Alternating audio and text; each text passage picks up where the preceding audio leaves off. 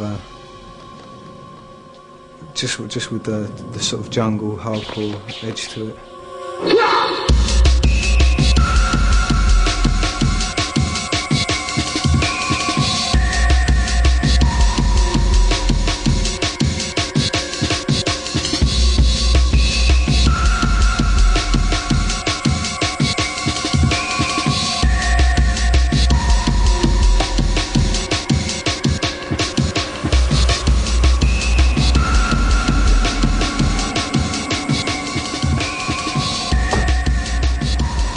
Yeah, what's up? I'm Jim, Source Direct. This is Phil. Uh, my name's Phil I'm from Source Direct. We're making drum and bass music for the next century. Check the rims. We're 20 now, but um, we started getting involved in the scene. We were about, I don't know, 14 or 15 because I was listening to tunes at school and I was sort of the odd one out where I'd be into my techno and house and breakbeat and like, other people were sort of into their pop sort of thing and their indie thing and it just wasn't me. I was more into that sort of thing that no one was into. I was always looking for that cutting edge like music.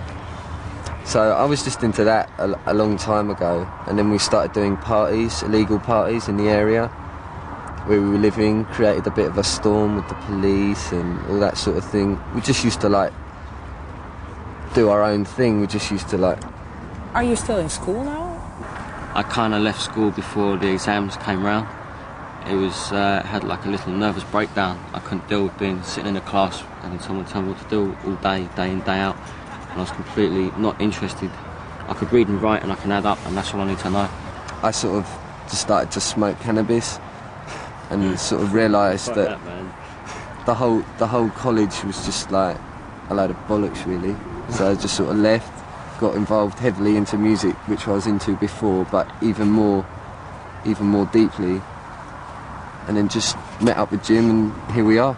We started making tracks, and uh, there was kind of like a funny sort of meeting with Rupert, sort of in the past, because he was actually uh, releasing a couple of tracks as studio pressure, to which we had bought, you know, just in the previous months. It was like, fuck, you know, you're making these beats as well, same way. And he liked Goldie and all this. We were like, whoa, you know what I mean? We know each other. It's like, so we sort of got on immediately, us two and Rupert, and you know, that's where our friendship came in.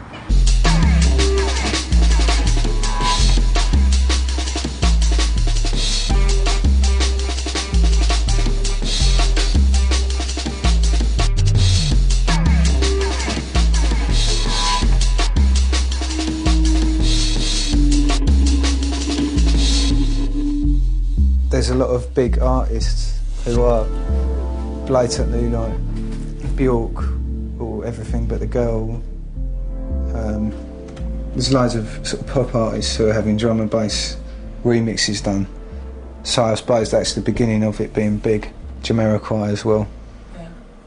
Um, but I wouldn't say that the, the actual scene is that big. I mean, there's there's not much specifically in the style that I make. There's not much in the way of clubs for that music. I mean, Metalheads at the Blue Note is one of the main ones. There's, there was Speed at the uh, Milk Bar, the Mars Bar near the Astoria. That was that was uh, sort of more musical, rolling style drum and bass. But I wouldn't say the scene was big because both of those clubs are quite small clubs, and the bigger events are sort of like happy hardcore and and like the more sort of dancehall, like orientated stuff.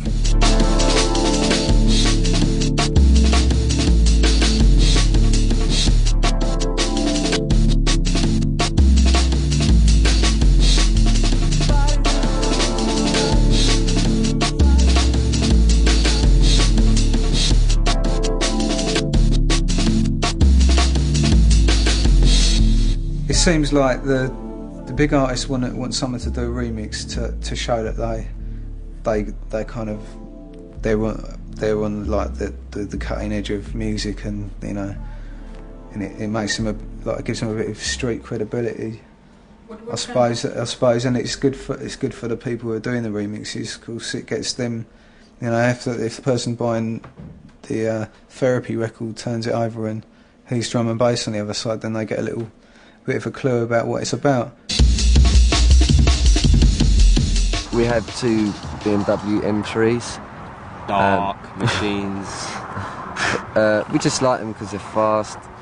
I mean, you feel it. You you have that sort of superiority on the road.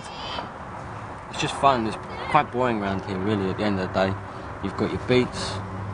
Um, you know, you can you can take your drugs and whatnot, but again, that's constant hassle when people know who you are with the police and whatnot, because they definitely keep their eye on us. Definitely. Oh yeah? Oh yeah, yeah. Can we've you been- give an example? Uh, well, we've been done over quite a lot of times, been pulled over and completely searched and been followed, and do you know what I mean? The whole bollocks. There Police one- around the house, the whole lot. We feel in Hertfordshire. I mean, there's no clubs or anything that play the music we like. There's there's only a few things to do really. We feel that we just like to drive around in our fast cars. We make our beats. We like to chill in these sort of quiet country pubs. We like to see girls, and that's about it really. There's not much else to do. It's quite boring, like the country of England.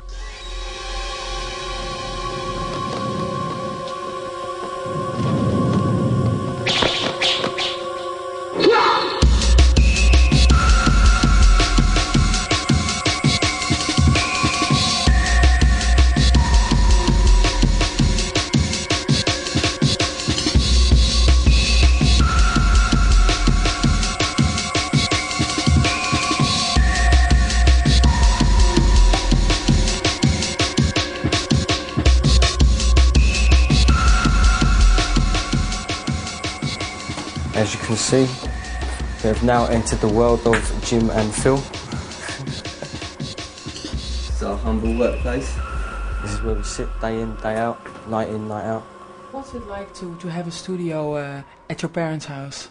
Most of the time we work on headphones, and we've had we have had complaints. I mean, even on the headphones because we do have them extremely loud. Because we like the sound when we have the headphones on. We like the sound to like bury inside your brain, so it's just bashing your brain around your head, and that's the way that we can really feel the drums. Because a lot of people say when they put a tune on in their bedroom, one of ours, and they're just like listening to it.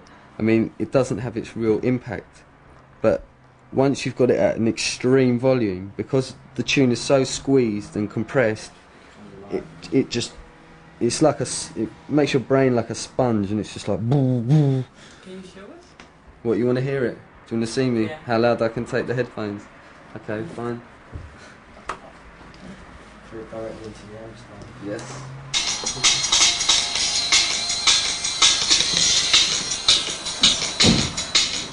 Uh, it's quite difficult to like define your own sound. You sort of you sort of search for it. You just like go back to your like old influences, like all the old breakbeat that we've listened to, all different styles of like uh, jazz, like fusion jazz. Are you ever uh, inspired by anything else than just music? Do, do you see any images in your head while you're making music? Well, you can't really you can't really describe an image that I would have. It's a Feeling inside you, you, man. That's there that comes out through the music. Yeah. It's a feeling like when the music suddenly changes this way. It's like, yeah, yeah, you made yourself feel it needs to go this way, and it kind of takes you there. And the music then forms itself around the way you want it to feel. And it's like, yeah, you can have something like suddenly like bang, it's just there. It's just like, do you know what I mean? It's fuck, yeah. Got that little shock there, and there's something you can hear in the background slowly creeping up, creeping up, creeping up. And then suddenly start to focus in on that while the sounds are still going. And plays tricks with you, do you know what I mean? And that's, that's your soul there helping the listener listen and fucking go shit, yeah, it's going this way, this way. This way.